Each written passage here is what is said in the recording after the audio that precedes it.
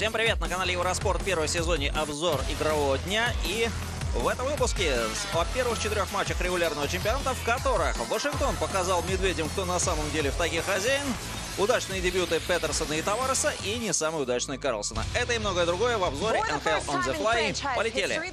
Ну и первым делом, конечно, Вашингтон, где болельщики Capitals тепло приветствовали своих любимцев, взявших летом Кубок Стэнли. В матче открытия получили они возможность еще раз пережить прекрасные победные ощущения, прекрасные победные мгновения э, посредством поднятия чемпионского баннера. Ну и обычно в таких матчах, э, когда слишком долго победный церемониал э, продолжается, то это начинает как-то немножко сковывать команду хозяев. И обычно вот этот матч открытия у них получается не очень хорошо. Но, к счастью, для Вашингтона это правило не сработало совершенно. Уже буквально с первого секунд все начало получаться для команды Александра Овечкина.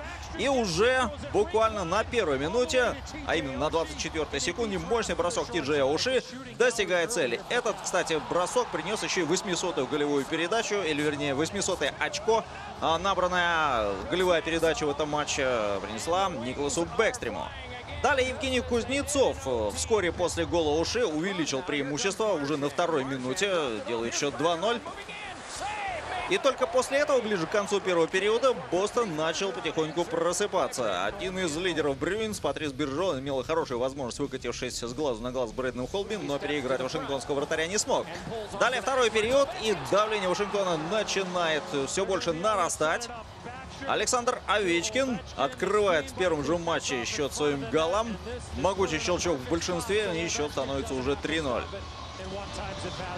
Да, может быть, не совсем его точка, может быть, и несколько дальше от ворот, но, тем не менее, это никоим образом не дает больше шансов вратарям соперника. В частности, и только раз, кто же в этом матче натерпелся от нападающих Вашингтона, и в частности и от Овечкина, и от Кузнецова.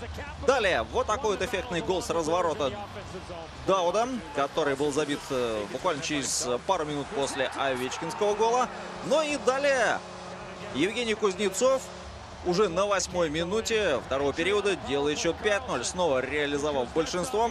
Вот так вот эффектно он входит в зону, обкатывает Брэндона Карла и броском в ближний угол застигает Раска врасплох. Тем дает сигнал тренеру Брюинс, что Туку Раска, судя по всему, пора поменять.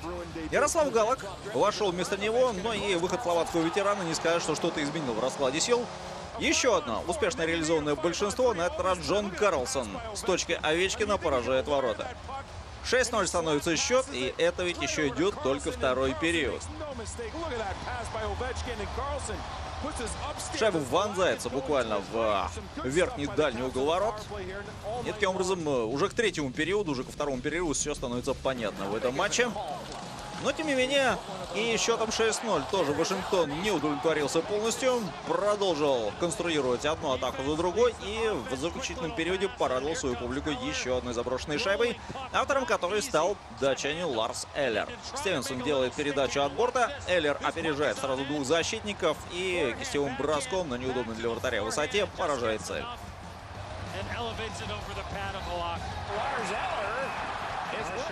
Ну а потом Ларс Эллер э, помимо заброшенной шайбы, стал еще и участником драки с Брэдом Маршаном, который, правда, потерпел поражение.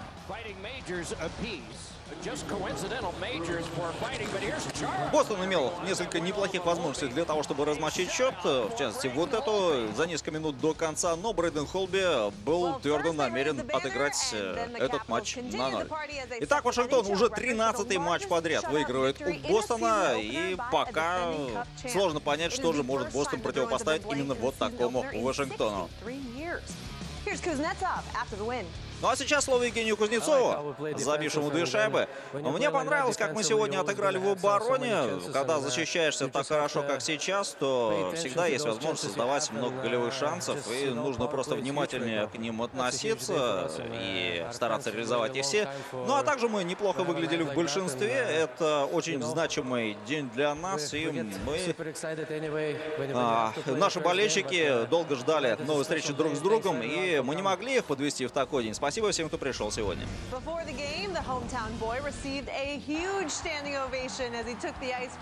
Далее наш путь лежит в Торонто, где также с нетерпением ожидали премьеры, особенно с учетом того, что летом в команду пришел самый желанный свободный агент Джон Таварес.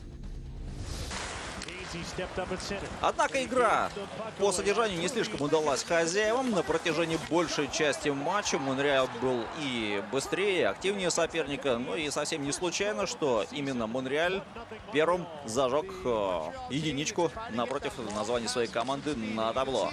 Артур Леконин реализовал быструю атаку сходу.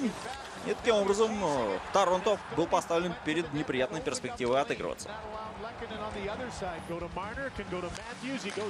Однако отыграться удалось достаточно быстро. Вскоре своей активностью Мэпл Лив заработали большинство. Ну и вот э, в этом большинстве Остон Мэтьюс, э, которому не привыкать в матчах открытия блистать и показывать результативный и очень содержательный хоккей. Вот Остон Мэтьюс э, мощным кистевым броском из левого круга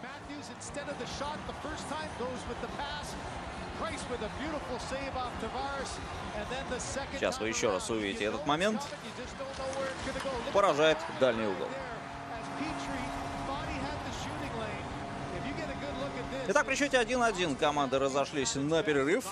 Ну а далее второй период прошел в неторопливой позиционной борьбе. Монреаль, опять же, достаточно грамотно разрушал атаки соперника.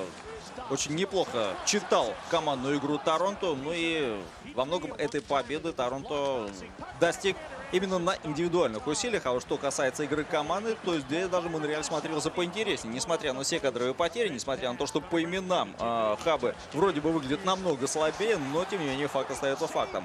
Несколько хороших моментов по ходу второй 20-минутки было и у Торонто для того, чтобы выйти вперед, но в этой ситуации блеснул своим незаурядным мастерством Кари Прайс. Ну а далее в середину вышел Джон Таварес. Обыграв Пеку на торможение, нашел себе пространство и классным броском с кисти. Вот он этот момент, когда Пека здесь э, на какой-то момент даже потерял равновесие и упал на лед. От такого резкого неожиданного маневра 91 номера Maple Leafs. И вот так вот публика Скотчебанк Арены, а именно так после почти 20 лет э, название РКНД центра называется теперь Торонтовская арена. Вот таким вот э,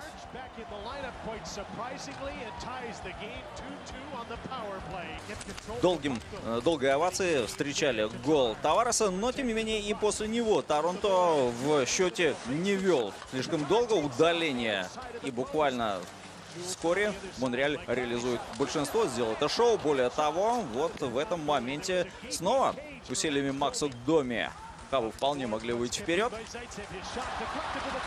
Но третий период так никому и не принес успеха. Встреча перетекла в овертайм.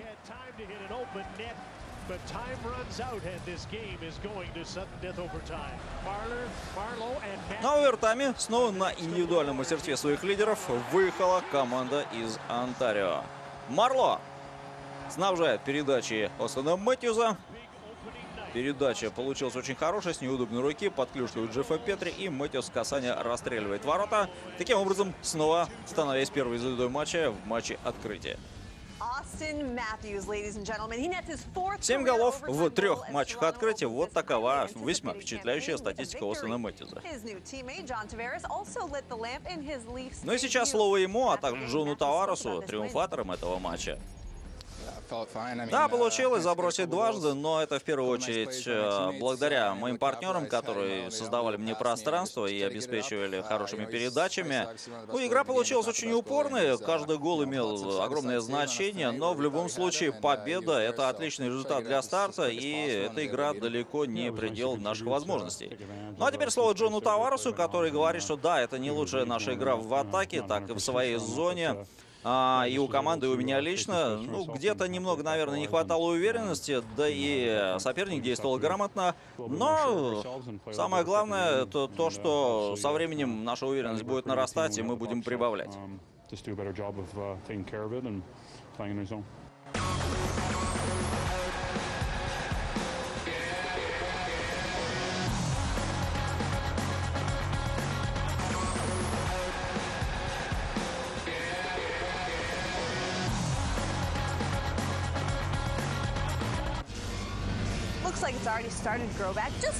Ну а теперь из Торонто переносимся в Калифорнию, где также с придыханием ждали первого матча звездного новичка.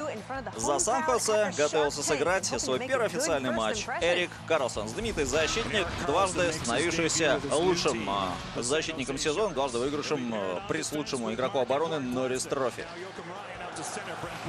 Так что это была главная афиша этого матча, ну помимо, собственно, самого открытия домашнего сезона. Но, однако же, с самого начала у Акул что-то пошло не так. Уже буквально первая минута принесла дебютный гол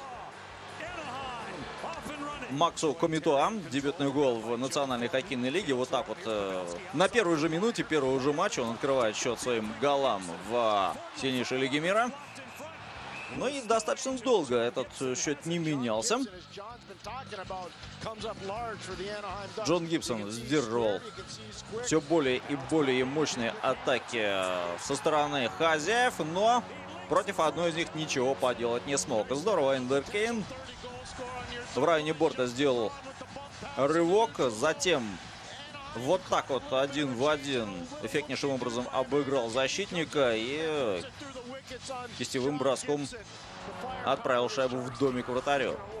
Мэнсон здесь недостаточно внимательно сыграл с Кейном у борта, и этого пространства, которое он Кейну оставил, вполне было достаточно для обыгрыша. Ну и плюс ко всему тут еще не очень аккуратно Анахайм проводил смену. Так что малейшая потеря концентрации, и счет становится уже 1-1.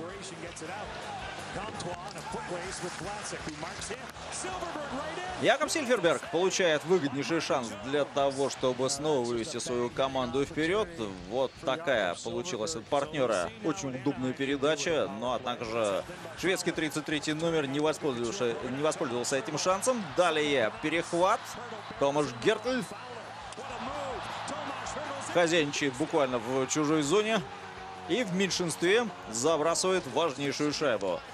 Фаулер, не поднимая головы, что называется, на рефлексах, на инстинктах, пытается сделать вдоль синей линии передачи своему партнеру для того, чтобы продолжить позиционную атаку. Но получается перехват и вот такой очень обидный гол, пропущенный в большинстве Анахаймом. Приободренный Сан-Хосе бросается добивать соперника, но нарывается на вот такую атаку. Кстати, в том же самом большинстве, которое и было, большинство, кстати, за удаление Вендера Кейна, все-таки на последних секундах этого большинства Сильферберг сделал отличную передачу вдоль ворот на своего соотечественника. Рикард Тракель отправляет шайбу в ворота. Так, третий период, который начинается при счете 2-2. Так как, собственно, и в Торонто это было. Но здесь э, некоторые отличия от сценария произошли. Вот такой вот э, Классный бросок с кистей, с острого угла и явно немножко потерял из виду шайбу после этого броска Монтура Мартин Джонс. Ну а затем Мартин Джонс вынужден был снова капитулировать. Э, и причем произошло это буквально вскоре.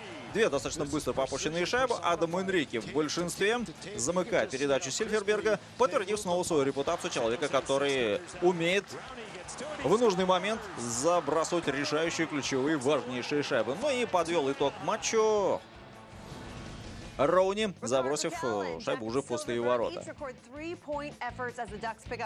Ну и опять же отметим и Джона Гибсона, который сделал достаточно много сейвов и не позволил забить больше двух шайб, в том числе и не позволил ничего реализовать в большинстве своему сопернику. И вот, собственно, слово самому Джону Гибсону, у которого Пьер Магуайр спрашивает, что вот э, ключевой момент матча — это ваш сейв на Вендерике в третьем периоде. Ну да, получилось удачно, но это везение, которое заслужила вся наша команда своей работой по ходу этого матча. Так что здесь это, это наше коллективное творчество. А что изменилось в вашей игре по сравнению с предыдущим сезоном, э, спрашивает корреспондент. Ну, мы стали быстрее, мы показываем более быстрый, более скоростной, темповой хоккей. Вот, наверное, главное отличие. А сейчас рядом с вами играет достаточно много молодых игроков. Если какая-то специфика, спрашивает Магуайр. Ну и Гибсон отвечает, что да, конечно, э, от молодых достаточно много энергии исходит, но с другой стороны, и они несколько больше ошибаются, нужно быть более внимательным и еще более сконцентрированным.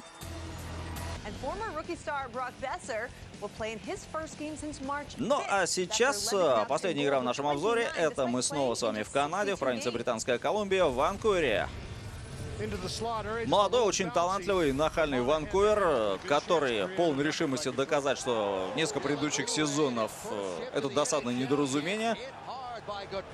В этом матче показал, что команда на правильном пути и, ну, по крайней мере, способна добиться значительного прогресса по сравнению с сезонами предыдущими. Ну а попадет плей-офф или не попадет, это, конечно, уже покажет будущее. Но, по крайней мере, игру команда впервые с 2000 года, вышедшая на лед без братьев Сидинов, игру показывала весьма симпатичную.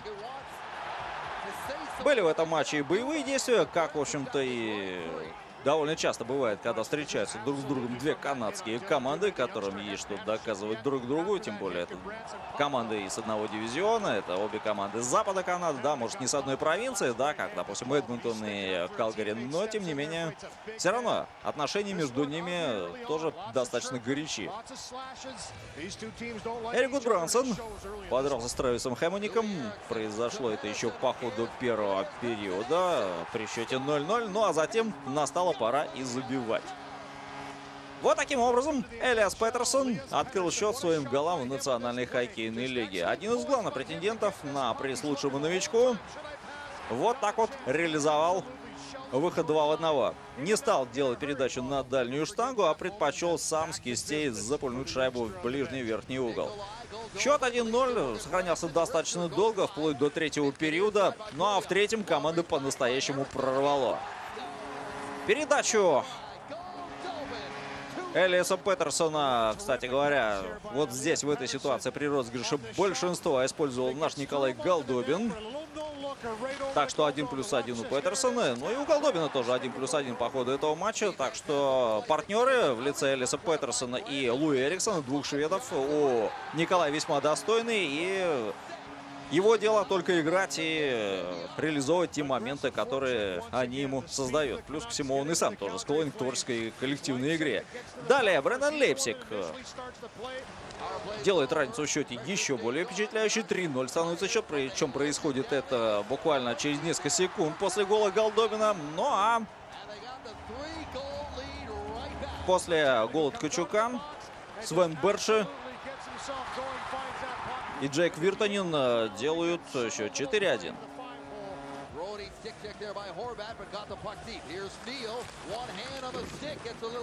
На это тоже находится результативный ответ у Калгари. Шон Монахан, один из молодых лидеров Флеймс, э, показывает, что таланты имеются не только в составе Ванкувера, но и Калгари тоже. Ну и, наконец, э, итог всему подводит пятая шайба. Say welcome to the 23 National. броска у Кеннекс, но тем не менее first career 5 goal. заброшенных шайб против 35 бросков у Флеймс, но только двух забитых голов. Итак, Элиас Петерсон, пожалуй, главное действующее лицо этого матча 1 плюс 1.